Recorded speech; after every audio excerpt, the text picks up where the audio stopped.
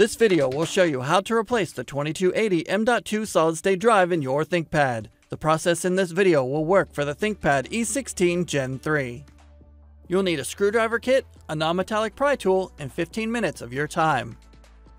Caution! To avoid damaging your device with electrostatic discharge, work on a hard flat surface. Use an anti-static wrist strap and mat, or discharge static by touching a grounded piece of metal.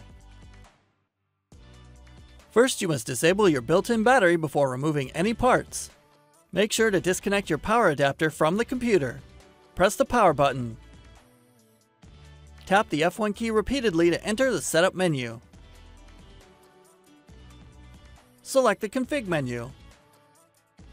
Select the power menu option. Select the disable built-in battery menu option. Select yes in the confirmation box. The system will shut down and the battery is disabled. Loosen the 7 captive screws on the bottom of the system. The captive screws do not come out of the base cover assembly. Do not try to remove them.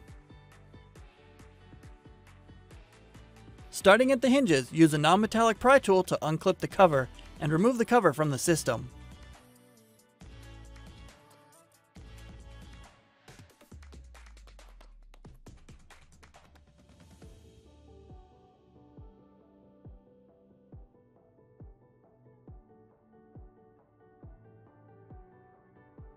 Remove the screw from the solid-state drive.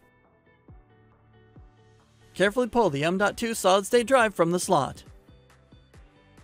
Insert the M.2 solid-state drive into the slot on the system board. Install the screw to secure the solid-state drive in place. Place the cover onto the chassis, inserting the edge opposite the hinges first, and press down around the edges to secure the clips.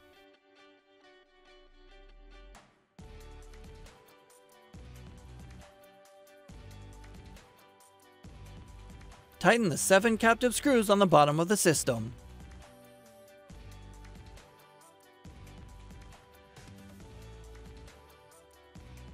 Plug in the power adapter and connect it to your computer to re-enable the built-in battery. To learn more about your device, go to pcsupport.lenovo.com.